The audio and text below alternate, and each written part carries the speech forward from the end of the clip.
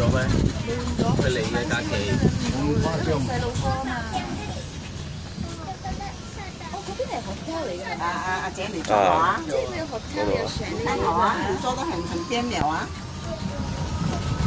做贵一点来，做做近一点来呀。我教你，我教你。看，拍照，hello，这样。嗯。二六二六系。啊。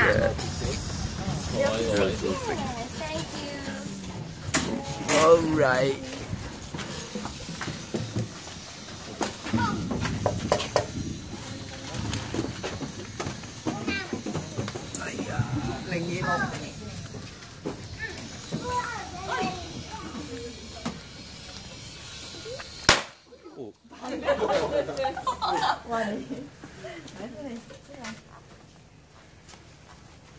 ok.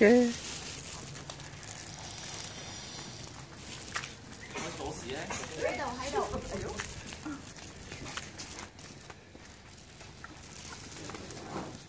等一下先等等等，你不要煮多多。